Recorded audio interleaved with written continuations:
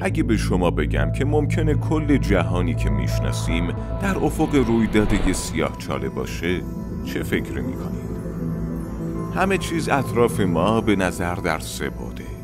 بالا پایین، جلو عقب، چپ و راست. اما ظاهرا می‌تونه فریبنده باشه.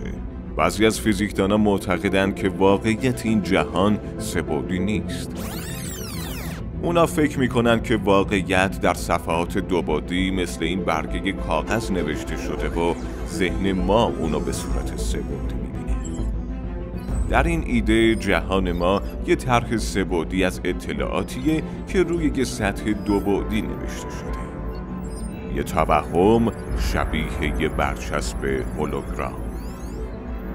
سیاه ها همیشه یکی از اسرارآمیزترین موجودات هستی قوانین فیزیک و ریاضیات ما نمی‌تونه توصیف کاملی از سیاه ها به خصوص داخل اونا داشته باشه. اما چیزی که می‌خوایم از اون حرف بزنیم یه سوال بزرگی در فیزیکه. چیزی که سیاه چاله ها باعث اون شدن. این سیب رو ببینید. این سیب از کنار هم قرار گرفتن ذرات و اتم ها درست شده. هر ذره این سیب دارای اطلاعاتی مثل سرعت، اسپین و ویژگی های کوانتومی مختلفه.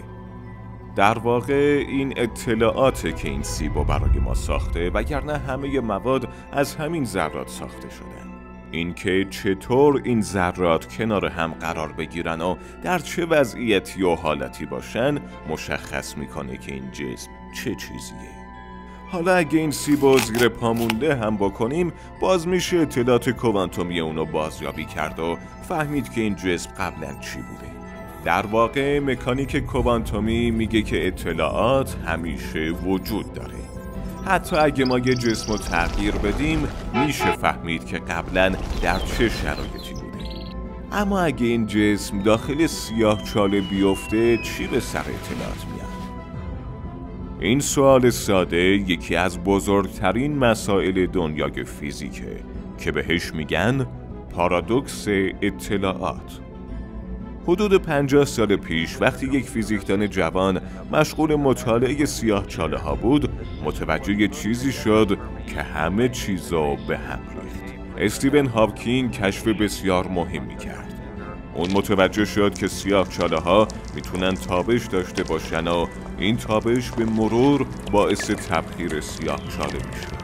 یعنی سیاه چاله ای که اطلاعات همه اجرامی که بلعیده داخلشه کم کم ناپدید میشه.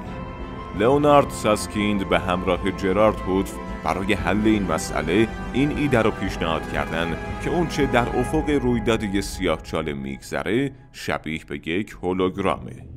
پیش از اون دانشمندان متوجه شده بودند که وقتی جسمی به داخل سیاه چاله وارد میشه سطح سیاه چاله هم زیاد میشه. از طرفی در نظریه ریسمان همه ذرات در واقع ارتعاش های ریسمان ها هستند. این دو موضوع طراحای ایده های هولوگرافیک رو به این جنبندی رسوند که شاید وقتی جسم وارد سیاه چاله میشه یک کپی از اطلاعات اون روی سطح سیاه چاله باقی میمونه. درست مثل تصویر سبودی که روی یه برچسب هولوگرام دو بعدی ساخته شده شاید کل جهانی که ما می‌شناسیم در واقع روی سطح سیاه چاله بزرگ باشه و ما داخل یک هولوگرام باشیم واقعیت کدومه؟ آیا درون کیهانیم یا واقعا در تمام این مدت در یک هولوگرام بودیم؟ این انتخاب شما شما تصمیم بگیرید که واقعیت کدومه به نظر شما آیا ما در یک جهان هولوگرامی زندگی می‌کنیم؟